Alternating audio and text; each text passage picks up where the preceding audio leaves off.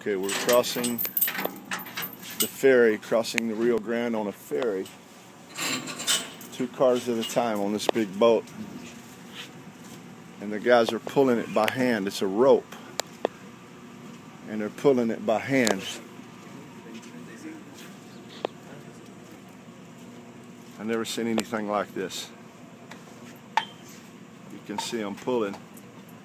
And they're pulling this ferry with two trucks on it. We're one of them. They're pulling us across the Rio Grande.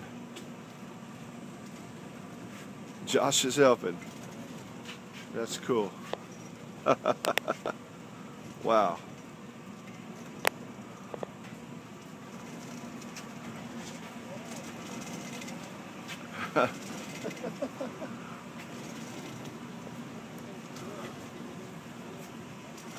think this is probably the last of its kind.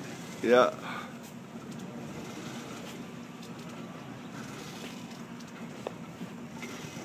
And I don't know what town we're by. I don't know what the town is we just came out of. But we're crossing back into Texas from Mexico on a ferry, crossing the Rio Grande. Kind of cool.